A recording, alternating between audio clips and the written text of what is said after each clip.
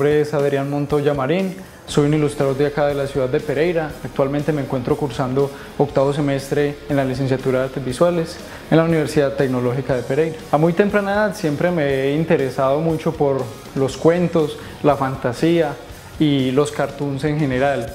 La revelación para mí lo que me hizo entrar en este mundo de lleno fue el famoso programa del laboratorio de Dexter.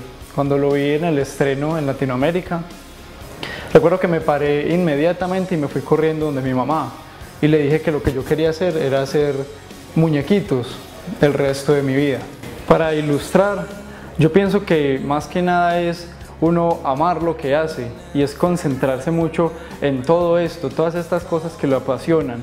La línea no tiene tanto que ver ni tu experiencia con el dibujo. Yo pienso que lo principal es querer lo que uno hace y darle rienda suelta a, todos esos sueños y a la imaginación. Es muy importante pues que las personas se acerquen más a todos estos ámbitos creativos. Esto es muy importante para el desarrollo de individuos de cualquier edad. Es muy chévere porque esto les ayudará mucho en sus vidas tanto personales como profesionales.